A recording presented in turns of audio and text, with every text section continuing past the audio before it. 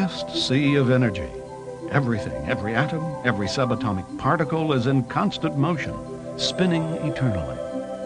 Even in the cold, dark, absolute vacuum of empty space, there exists what new physics is calling the quantum vacuum flux. It is the ether of the ancients, the life force energy of metaphysics, are the random fluctuations of this vast field of potential in which space and time are embedded. Now, theoretically and mathematically proven, the question no longer is, does this zero point energy exist? But rather, can we tap this inexhaustible resource of free and unlimited energy and manifest new technologies which are both inexpensive and environmentally safe?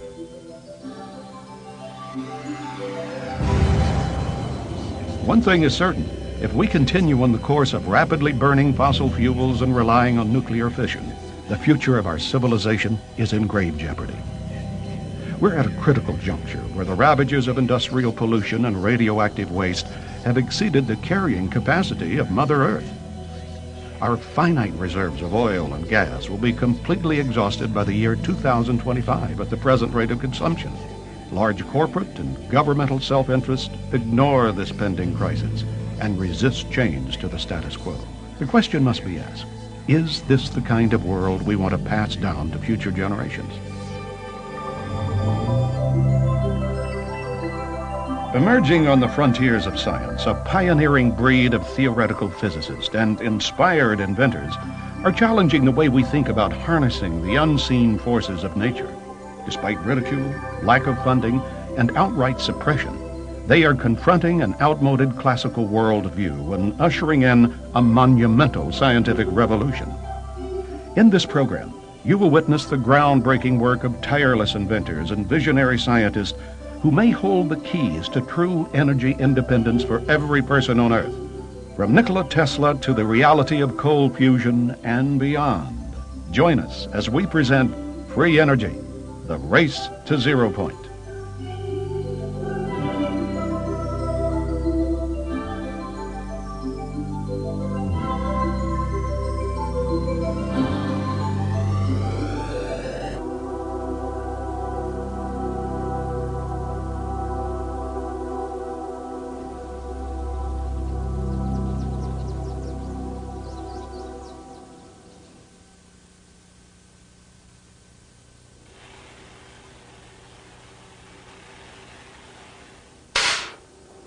Most people would agree you can't get something for nothing.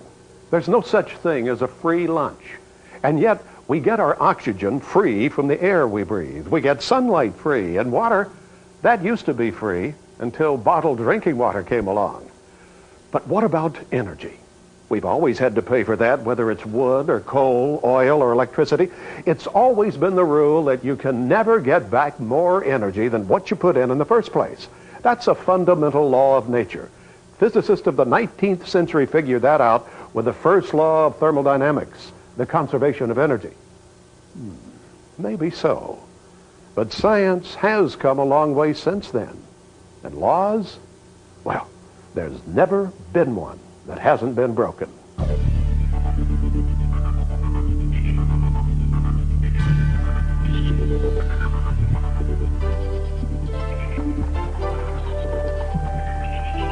At the turn of the last century, Nikola Tesla, the great inventor who gave us alternating current and the Tesla coil, stated, Electric power is everywhere present in unlimited quantities. It can drive the world's machinery without the need of coal, oil, gas, or any other fuel. This new power for the driving of the world's machinery will be derived from the energy which operates the universe, the cosmic energy. With over 200 patents to his name, Tesla was well on his way to transmitting electric power without wires when he ran into trouble with J.P. Morgan and the financial interest of 1901. His ambitious Wardenclyffe project to magnify and transmit power to ships at sea and eventually to provide free electricity for the whole world was scuttled by Morgan, leaving Tesla penniless and disillusioned. The wealthy industrialist of the time knew that their vast plans to wire the world with copper from the mines they owned would be upset if they could no longer control the supply and means of delivery. Tesla's beliefs about developing technology in harmony with nature conflicted with the prevailing American attitude at the time that mankind was put on earth to subdue and dominate nature. Little by little, Tesla was denounced as a crackpot and deleted from the historical record. At the time of his death in 1943, Tesla's truckloads of scientific papers were seized by U.S. government agencies. Who knows what ideas and remarkable devices our world could have inherited if only his genius was recognized. When J.P. Morgan prohibited Tesla from broadcasting uh, electric power overseas with Wardenclyffe Tower, he said, I can't put a meter on it, therefore I won't finance it. Uh, that literally changed the course of history, and for the past almost 100 years, we've been uh, suffering under that um, profit motive. Of course, one could say that mankind was hardly ready to handle the awesome forces Tesla had glimpsed. The 20th century would bring world wars and technological innovations far more horrific than had ever been witnessed by Western civilization. Even before Tesla, the groundwork that would lead to free energy had been pioneered by great scientists like Michael Faraday and James Clerk Maxwell. In 1831, Faraday modeled his rotating magnet and disk generator after the Earth, whose rotation around a molten metal core keeps the planet spinning in a self-sustaining magnetic field. His work later resulted in the development of the dynamo. Also called a homopolar or unipolar generator, the Faraday generator provides the basis for much of what is being done today in the electromagnetic approach to free energy, such as with Bruce De Palma's N-Machine and Paramahamsa Tewari's space power generator. Repeated experiments have detected anomalous electrical outputs greater than that used to rotate the disk. But friction and voltage limitations have hampered efficiency and therefore widespread acceptance. James Clerk Maxwell, best known for his Maxwell's equations, is reputed to have set things straight with his theories of electrical properties in a way that eliminates zero-point energy. But Maxwell's more advanced work allowed for the existence of an ether, a substance finer than air, which since the time of Plato had been considered a scientific fact. The prevailing belief of the time was that the vacuum was a thin material fluid, the so-called material ether, which we know today is false. The ether is there, but it's not the observable material fluid. Faraday had re-established this notion of lines of force, but he thought the electromagnetic field or the electromagnetic disturbances in the ether, so to speak, was really twanging strings. The strings were under tension, and when you had a disturbance, what you really did was pluck the strings. Now, Maxwell states very clearly that he set about to actually capture exactly what Faraday was doing in his lines of force in the theory, and that's what he did. Maxwell's actual theory is 20 equations and 20 unknowns in quaternions, which is a higher topology algebra. You can do things in that that you can't dream of in doing in tensors. And you certainly can't do in vectors, and you certainly can't do with the theory that's taught at our universities. All that remains to be rediscovered and uncovered. The now famous Michelson-Morley experiment at the turn of the century failed to detect a stationary ether, so classical physics presumed once and for all that it did not exist. The case was closed until quantum mechanics reopened the discussion, allowing for a new interpretation of how matter interacts with a zero-point field most of our scientific community actually believes that empty space, the nature of, of, of, space itself, is completely empty, devoid of anything. And historically, it's very interesting because in the 1800s and even earlier, they believed there was an ether, an all-pervading substance filling up space. And in 1905, when relativity theory became very popular, they said, well, we don't need this ether. It's uh, empty space is empty. Then 25 years or 20 years later, in 1925, when quantum mechanics comes into play, all of a sudden, a new energy appears in equations of quantum mechanics, and it has to be there to make the equations work, and it has to, it has to do with fluctuations of electromagnetic field energy at a very high frequency that interacts with everything. And they called this the zero-point energy, and it turns out that all the elementary particles interact with this energy, and it becomes a potential energy source. That's what we're discovering today. Well, free energy is basically, uh, and another word for it is zero-point energy. It's energy that is contained within the vacuum of space and which is virtually undetectable by any traditional means.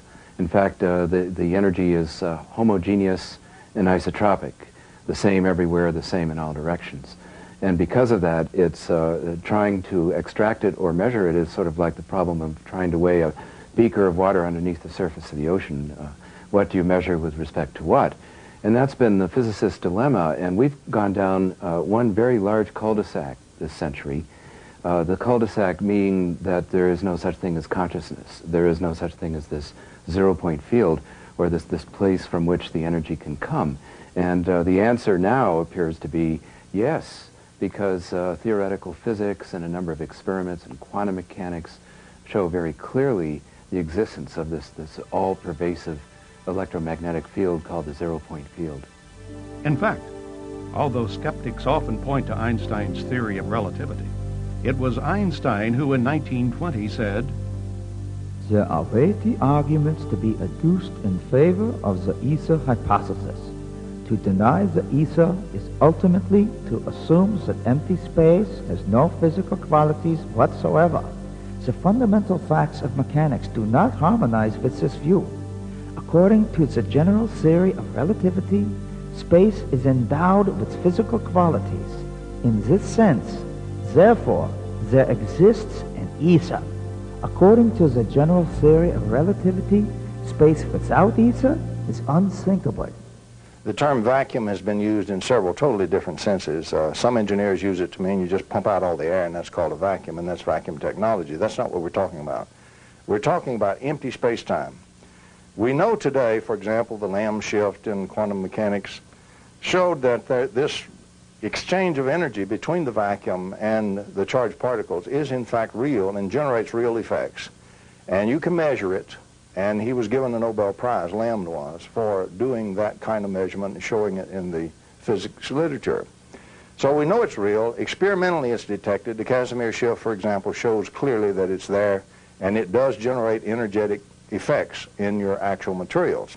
It turns out that in the modern view, the modern quantum mechanical view, if you apply that knowledge that's been gained there, what you find is that the vacuum is fiercely active. It's a fierce energy flux and going in all directions at all times. The energy density of that, as estimated by various physicists, is extremely high.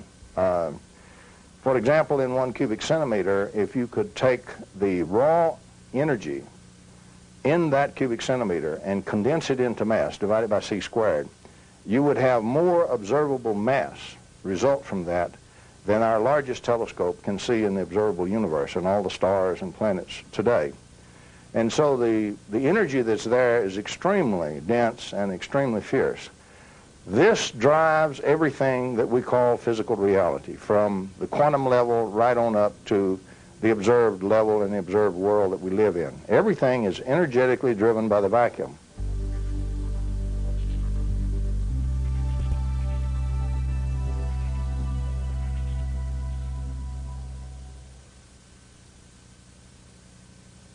The Sea of Energy in Which the Earth Floats was a revolutionary book written by T. Henry Moray, an electrical engineer and Tesla enthusiast who in the early 20s began working on a device he claimed intercepted radiant energy from outer space. His solid-state detector, the Moray valve, was designed with a complex series of semiconductors, high-voltage capacitors, and transformers hooked up to an antenna and a ground wire. By stimulating the existing oscillations of space energy, his radiant energy device ran for days, putting out 50 kilowatts of electricity. His public demonstrations attracted newspaper coverage and scientists from Bell Laboratories and the Department of Agriculture's Rural Electrification Administration. Although no one could find evidence of fraud, neither could anyone explain how the radiant energy device worked. During the 30s, developed semiconductors and transistors that were far ahead of their time. Unfortunately, as all too many inventors have suffered, when he refused to sell out to powerful interests, Moray and his family were threatened shot at, and their laboratory ransacked. Ignored by the U.S. Patent Office, Moray quietly stopped public disclosure of the device after it was destroyed by his assistant, Felix Frazier. A communist sympathizer who was frustrated when Moray declined his repeated offers to take that technology to Russia. Today, Moray's sons, John and Richard, continue to pursue their father's dream. In Europe, Victor Schauberger's vortex experiments during the 1930s resulted in an advanced understanding of how the spiraling motions inherent in all natural systems reverse the effects of entropy. By studying the properties of inwardly spiraling water, he created an implosion generator that concentrated electrical charge. Victor Schauberger is one of my heroes who talked about a, a possible science based on the, the uh, inward motion rather than the let's explode everything, blow, break it up and, and uh, study the atom by breaking it up into little pieces. Let's study the atom by looking at uh, how it wants to move naturally in a spiraling motion. And the same with uh, everywhere you look in nature. Schauberger's ideas became widely known before World War II when he was coerced to work for the Nazis on exotic discs that resembled flying saucers, as well as his energy generator. In 1958, he traveled to the United States where he was told he could manufacture his devices. But he was duped into signing over all of his rights, and none of his inventions were ever developed. Returning to Austria, he died a bitter and broken man. Visionary philosopher, artist, and scientist Walter Russell's contributions to the understanding of energy are significant, even though ignored by mainstream academia. Russell's revised periodical table of the elements, based on a spiral, predicted many unknown elements and isotopes like plutonium and deuterium. His cosmological theories about the mystical nature of reality challenged physicists to think in terms of energy, light, and matter as one substance.